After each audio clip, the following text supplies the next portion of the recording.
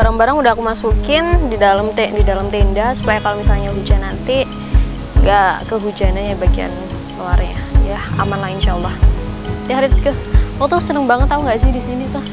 Lihat tuh ada bapak-bapak yang lagi di sawah tuh.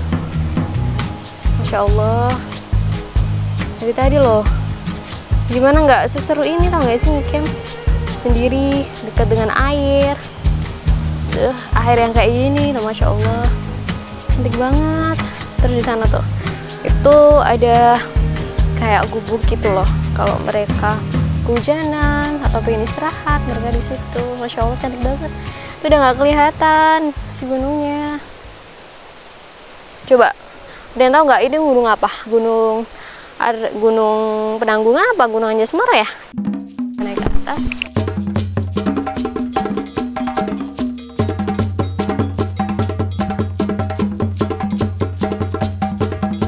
sandalku putus. Ini gimana ya? Nggak bawa sandal lagi sih masalahnya. Jalurnya tuh rimbun nggak kelihatan. Rimbun kan? Dia tuh kadang tuh ada ceklongan gitu loh di tengah-tengah sini. Di tengah-tengah sini tuh ada kayak lubang gitu. Jadi nggak kelihatan. Kepleset kepleset akhirnya jatuh deh. Kita naik ke atas sini aja deh lebih cepet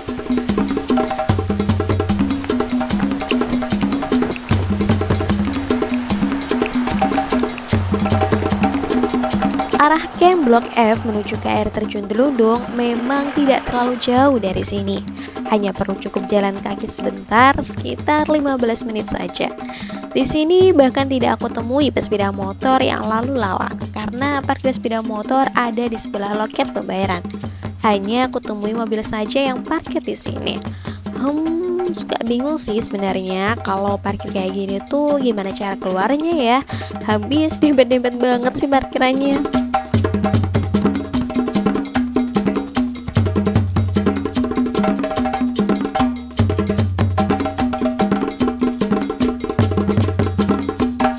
Padahal area camp dan wisata di sini cukup luas banget loh karena weekend jadi pengunjungnya semembeludak ini. Bukan hanya spot air terjun dan tempat campnya saja yang menjadi spot menarik di kawasan ini. Ternyata di sini tuh juga ada wisata kolam air renang, cafe dengan live musik, spot foto menarik pun banyak banget aku temui di sini.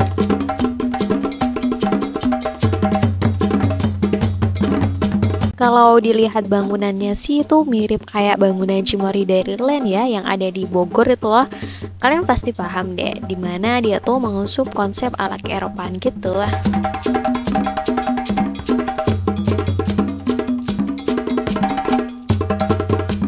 Sedikit aku ajakin kalian untuk bergeser ke arah samping, di mana di sini kamu akan menemui loket masuk menuju ke arah Taman Kelinci.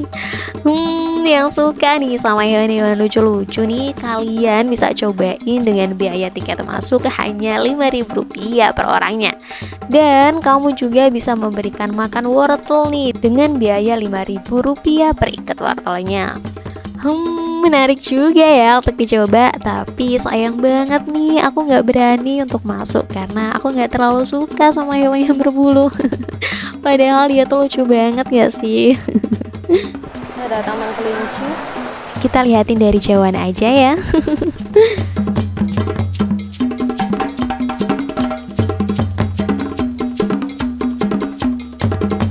Dari sini kamu akan menjumpai banyak sekali warung yang udah berjajar rapi di sini. Jadi nggak perlu bingung ya kalau malamnya kita camp di sini. Yang males banget buat masak-masakan bisa langsung cus ke sini buat kulineran bareng-bareng keluarga atau sama pasangan kalian mungkin. Di sini ada jagung bakar, ada bakso, ada rawon, ada aneka makanan ringan, aksesoris pun tersedia lengkap di sini. Oh iya, untuk makanannya di sini tuh mulai dari harga 10 sampai 15 ribu rupiah doang loh. Hmm, cukup relatif murah kan sih? Menurut kalian gimana nih?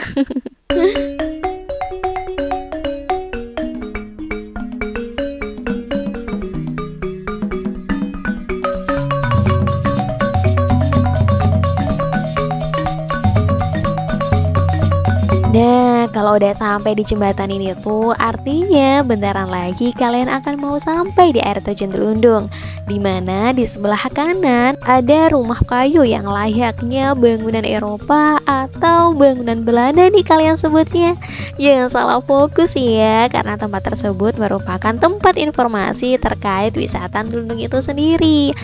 Nah, kalau misalnya kalian mau tanya-tanya nih tentang sejarah Delundung itu sendiri, kalian bisa langsung ke tempat informasi tersebut atau mungkin kalian ada kehilangan barang atau terpisah dari rombongan kalian bisa memberikan informasi kepada petugas yang ada di sana Nah, tanpa perlu berlama-lama lagi, yuk langsung kita masuk untuk mengecek bagaimana keindahan dari air terjun Delundung itu sendiri. Udah nggak sabar banget nih buat bisa sampai di sana.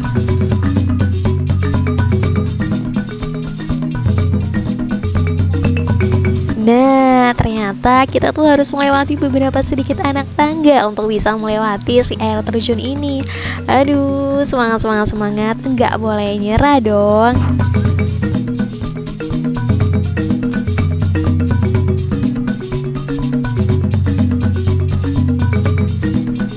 Waduh, waduh, waduh, ternyata di sini ramean banget ya, sesuai dengan ekspektasi aku. Lu, lu, lu, kok malah sesuai dengan ekspektasi sih? Ya iyalah, sudah aku duga, apalagi ini tuh hari weekend ya. Dan ini juga sudah menunjukkan pukul 11 siang, ya pastinya udah full banget nih. Ya, it's okay lah, nggak apa-apa karena ini sudah menjadi pilihan aku. Aku memilih untuk masak-masak terlebih dahulu biar cuacanya nggak terik-terik banget nih.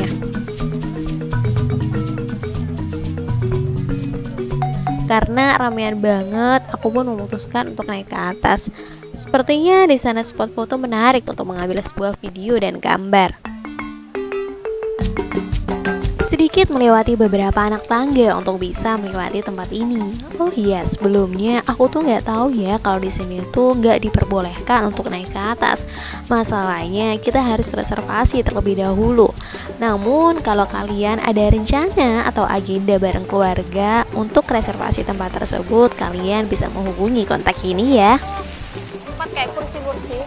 Jadi di bawah tuh tempat reservasi dan ini air terjun. Ini tempat lokasinya kalau misalnya teman-teman mau reservasi di sini bisa nih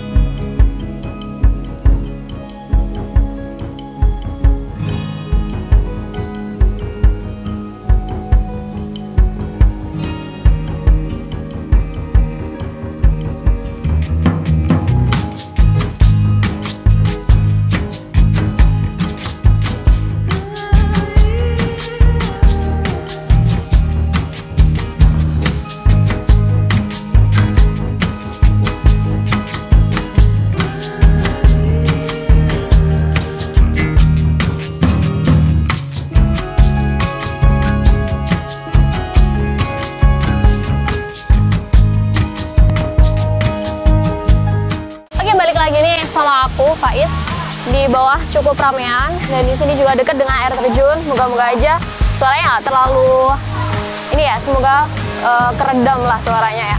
Oke di sini sedikit aku akan menjelaskan tentang si air terjun Delundung sendiri. Jadi air terjun Delundung sendiri itu berada di lokasi terawas dan tepatnya itu ditemukan warga pada tahun 2000-an nih. Nah, namun kawasan wisata Delundung ini itu ternyata baru dikelola oleh pemerintah pada tahun sekitar 2012-an oleh warga setempat dan juga pemerintahnya. Dan untuk air terjun Delundung sendiri ini sebenarnya dulu itu dinamakan bukan air terjun Delundung ya. Ternyata dinamakan air terjun Gerenjengan. Nah, aku sedikit baca dari sini. Air terjun Gerenjengan sendiri itu diartikan bahwasanya air yang turun dari atas turun ke bawah. Nah, sedangkan Delundung sendiri itu diartikan sebagai uh, air yang delundung gitu loh. Kalau dalam bahasa Jawanya itu delundung atau bergilir ya. Air terjun delundung sendiri ini tuh berkaitan erat banget dengan Pandawa 5. Kalian pasti pernah dengar tentang Pandawa 5 kan? Ya ini Yudhistira, Bima, Arjuna, Nakula, dan Sadewa. Pasti teman-teman nih nggak uh, asing di telinga nih ya tentang si Pandawa 5 ini.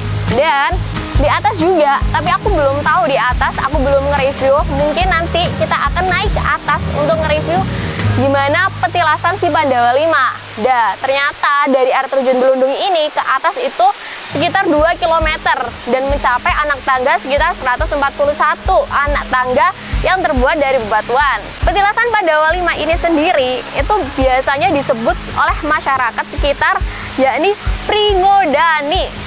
Ada yang tahu nggak Pringodani itu apa? Pringodani sendiri, pring dalam bahasa Jawa yaitu bambu.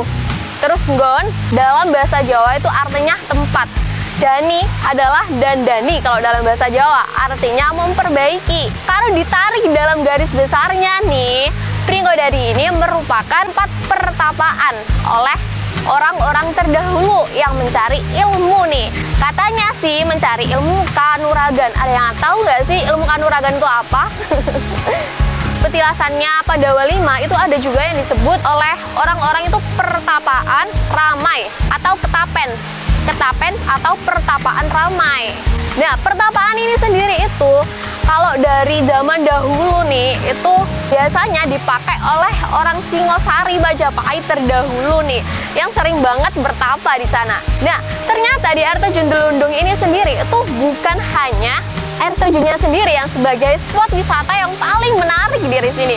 Nah, ternyata di air terjun Delundung ini ada campground tuh luas banget. Aku nggak tahu itu ada blok berapa ya ada blok sampai KI oh berapa gitu loh. Dan kemarin aku tuh sampai di bloknya F.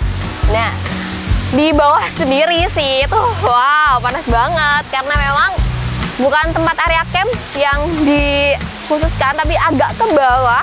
Dan itu panas karena memang aku harus ngambil tag video dan aku memang uh, jadi harus jauh dari keramaian kayak gitu.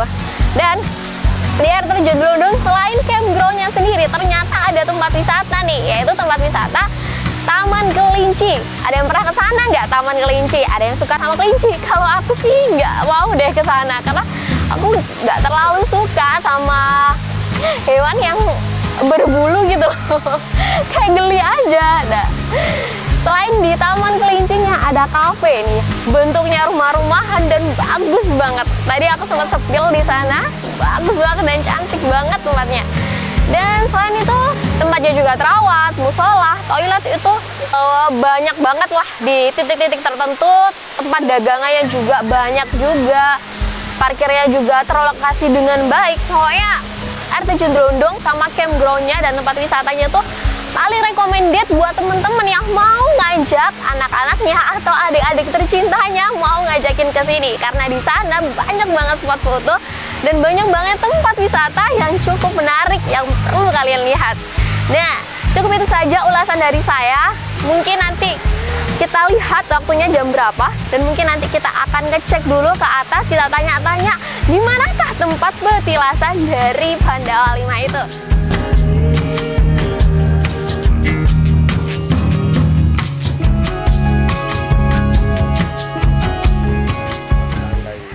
Oh iya, tadi aku sempat lihat-lihat cek itu ada 141 tangga sekitar satu meter gitu ya. Dua jam lah dari sini ya.